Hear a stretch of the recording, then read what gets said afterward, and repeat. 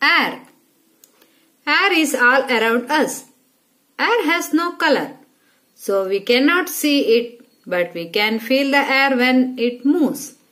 Keep, keep your hand in front of your mouth. Blow on the hand. Do you feel something? You can feel the air. Moving air is called wind. Air that moves gently is called breeze. A strong wind is called storm. Uses of air. Air gives shapes to a thing. It is used in many things. We need air to breathe. We need air to fly kites.